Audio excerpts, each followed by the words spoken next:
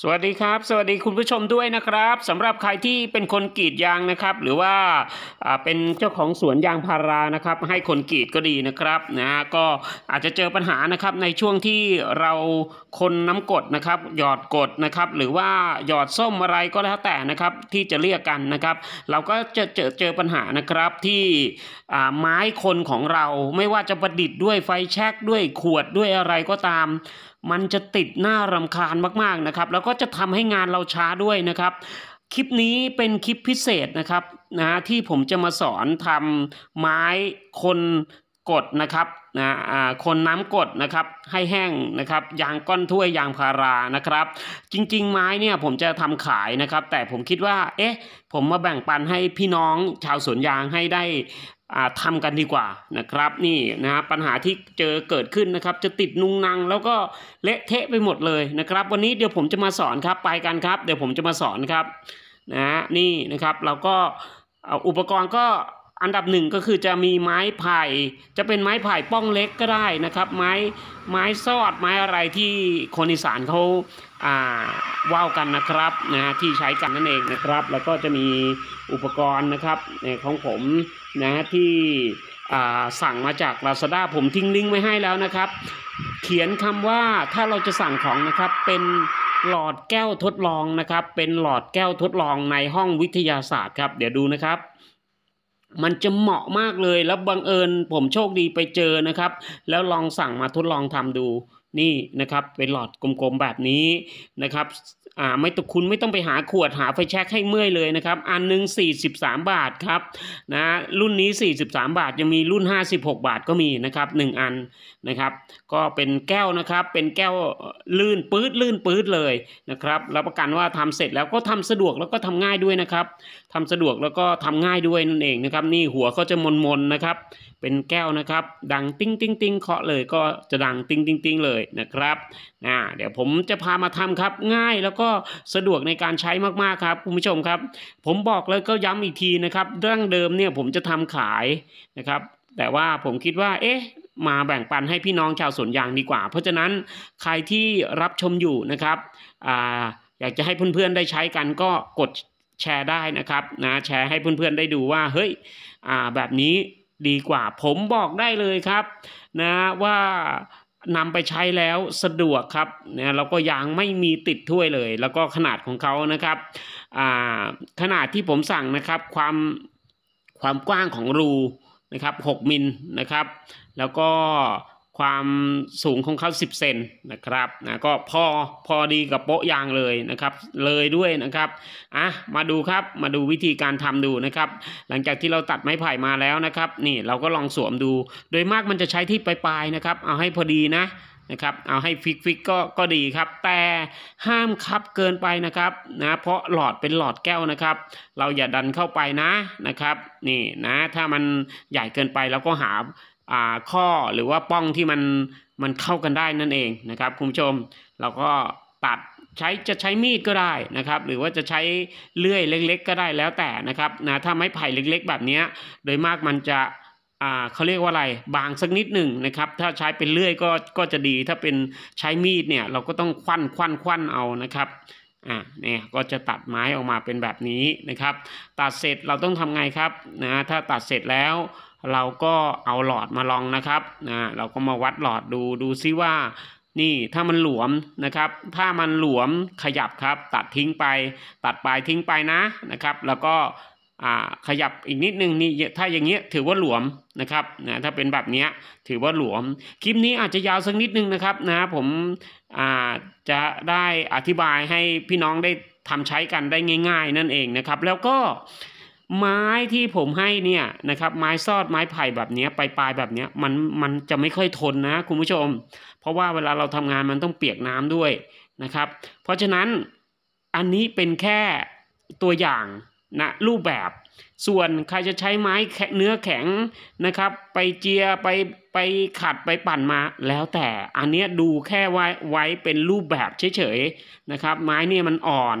อาจจะใช้ไม่ทนมากเท่ากับไม้เนื้อแข็งนะครับนี่นะถ้ามันใช้ไม่ได้เราก็ต้องควันอ่าควันควันตัดเลื่อยออกอย่างนี้นะครับ ถ้าเราเลื่อยออกแล้วเนี่ยแล้วเราก็ลองเอาหลอดแก้ว ที่เราสั่งมานะครับ ย้ำนะครับเป็นหลอดแก้วทดลองนะ ถ้าใครจะสั่งซื้อนะครับ ขนาดของผมเนี่ยความความยาวของมันเนี่ยสิเซนนะครับ ความหนาของมัน 6มิลนะครับอะนี่นะช่องรูกลางเนี่ยเราก็ลองวัดแบบนี้วัดไปเรื่อยๆอ่าไม่ได้อีกก็ต้องตัดอีกครับ ไปจนเจอในในในช่วงที่ที่มันพอดีนั่นเอง แต่ว่าในคลิปเนี้ยผมตัดเลยไปนิดนึงนะคุณผู้ชมนะมันก็เลยครับนะครับ เนี่ยเดี๋ยวเดี๋ยวมาดูดีแล้วล่ะนะครับ ผมอยากให้เห็นว่าเวลาที่เราทำคับเกินไปเนี่ย มันก็จะเกิดปัญหาทำให้เราทำงานยากนะนี่เห็นไหมครับใส่ไม่ได้แล้วนี่นะครับใส่ไปไม่สุดนะครับ ต้องใส่ให้สุดหลอดแก้วเลยนะครับ ใส่ให้สุดหลอดแก้วนะครับนี่นี่ถ้าสังเกตดูในในคลิปเนี่ยมันยังไม่สุดหลอดแก้วนะครับ ถ้าไม่สุดเราต้องทำยังไงครับทีนี้เราก็ หาตะไบหรือว่าใช้หินเจียอะไรก็แล้วแต่นะครับ มาเจียจริง ๆ ผมจะตัดคลิปออกไปก็ได้ แต่ว่าผมอยากให้เห็นถึงถึงความผิดพลาดนะครับ ว่าเวลาที่เราตัดไม้ไผ่ปลายไม้ไผ่จนเกินไป มันก็ต้องมาเสียเวลาในการที่จะเราจะต้องมาตะไบหาเครื่องมือมาเจียบ้างอะไรบ้างอย่างเงี้ยนะครับนั่นก็จะทำให้เรานะเสียเวลานั่นเองนะครับอะโอเคนี่นะครับแล้วเราก็ลองไปเรื่อยๆแบบนี้นะครับคุณผู้ชมเราก็ลองไปเรื่อยๆแบบนี้เลยนะครับ เราเราตัดไปลองไปแบบนี้เพื่อให้ให้มันพอดีที่สุดนะครับนะใครมีเครื่องมืออะไรที่ที่จะมาขัดเกลาไม้ไผ่แบบนี้นะครับ อันนี้มันเป็นแค่แค่รูปแบบที่ผมอยากจะให้ดูแค่นั้นเองนะคุณผู้ชมก็จะเห็นไหมฮะมันก็จะดูยุ่งยากไป แต่ถ้าเราตัดให้มันพอดี ค่อยๆ ตัดไม้ไผ่ปลายไม้ไผ่เนี่ยมันจะเข้ากับหลอดพอดีเลย แล้วเราไม่ต้องมาเสียเวลาเจียเลยนะครับ ก็จะจะสะดวกสบายกับคุณผู้ชมด้วยนั่นเองหลังจากเราตัดได้ที่แล้วนะครับ เราก็มาทดลองนะครับ เอาหลอดแก้วเข้ามาใส่ทดลองเหมือนเดิมนะครับอ่าพอเราใส่เข้าไปนี่นะครับ สุดแล้วนะครับ สุดแล้วนี่ แต่จะสังเกตไหมครับ ตรงตรงหัวมันเนี่ยนะครับ ไม้ไผ่มันจะเป็นตัดฉากใช่ไหมครับ หัวเราจะมนมนเก็บริมสักนิดหนึ่งนะครับนะขัดริมสักนิดหนึ่งเนี่ยหัวมนมันจะมนมนนะครับนะไม้ไผ่มันจะเป็นฉากแบบนี้นะครับอ่า ความหมายของผมก็คือผมต้องการให้หัวไม้ไผ่นะครับ ยื่นเข้าไปที่หัวมนมนนี้ด้วยนะครับนะเพื่อความคงทนของไม้หยอดกด อันนี้เป็นเทคนิคเลยนะครับ อันนี้เป็นเทคนิคเลยนะ นี่แล้วก็นี่ฝนไปปลายๆให้มันเป็นมนมนนะครับ เพื่อที่มันจะเข้าไปถึงหัว มนมนของอ่าหลอดแก้วของเรานี่นะครับเนี่ยอันนี้เป็นเทคนิคเลยต้องถ้าทำได้จะดีเลยนะครับอะพอถึงเวลาแล้วนะครับ เสร็จสับเรียบร้อยแล้วเอาหลอดแก้วออกไป มาวัดระยะครับ จะเอายาวแค่ไหน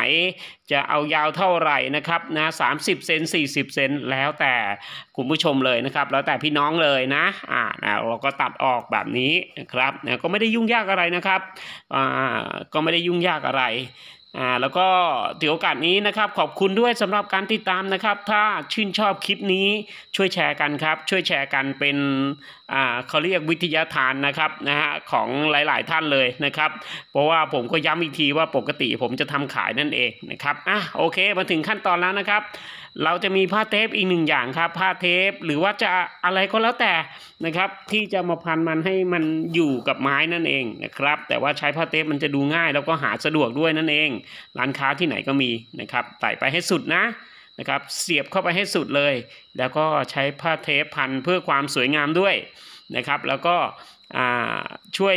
มัดระหว่างหลอดแก้วกับไม้ไผ่ไว้ด้วยนั่นเองนะครับ ง่ายๆเลยคุณผู้ชมครับนำไปทำตามนะครับ เอาเอาไปแชร์ได้นะครับ แชร์ให้ผมสักนิดหนึ่งนะครับ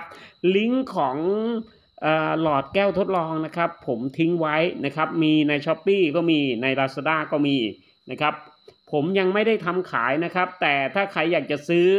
อยากจะซื้อจริง ๆ นะครับนะอันละร้อยหกสิบห้าบาทนะครับ อันละ ร้อยหกสิบห้าบาทนะครับอ่าถ้าถ้าถ้าใครขี้เกียจทำจริง ๆนะครับ อยากจะให้ผมทำให้พร้อมหลอดแก้ว ผมทำให้ได้นะครับนะก็แต่จริง ๆ ไม่ได้ขายหรอกยังไม่ได้ขายหรอกแต่ว่าเผื่อพี่น้องอยากได้นะครับ อันละร้อยหกสิบห้าบาทนะครับอะก็ฝากไว้ด้วยนะครับ แล้วก็นี่นะครับ อ่านี่เสร็จแล้วก็จะเป็นแบบนี้เลย เวลาเราพันผ้าเทปเนี่ยสวยงามครับเนี่ยนะ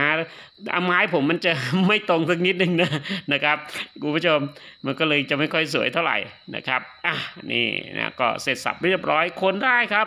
ผมรับประกันเลยไม้อันนี้ไม่มีติดแล้วก็จะทำให้คุณทำงานสะดวกเวลาที่เราไปหยอดกดนี่นะครับ เวลาที่เราไปหยอดกดสายๆใช่ไหมครับ นี่นะครับ ไม่มีติดครับ ไม่ว่ายางจะเป็นหนังหมู เราไม่มีธุระนะครับ หรือใครที่จะเอาเอาขี้ยางใส่ไป ก็ไม่ได้มีปัญหาเลยนั่นเองนะครับ เอาละนะครับ คลิปนี้ต้องขอขอบคุณมากมายเลยสำหรับพี่น้องที่